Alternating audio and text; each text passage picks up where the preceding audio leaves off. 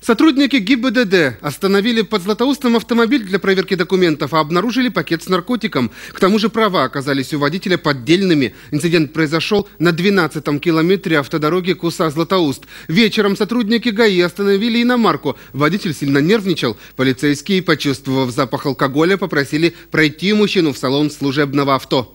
Похоже. Что? Не похоже, говорю. Что с кем? С водителем.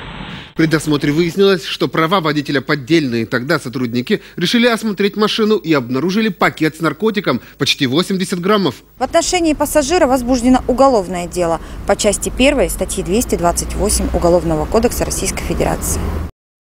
Парень пояснил, что отраву он приобрел для себя. На данный момент подозреваемому избрана мера пресечения в виде подписки о невыезде и надлежащем поведении. Максимальное наказание по статье до трех лет лишения свободы.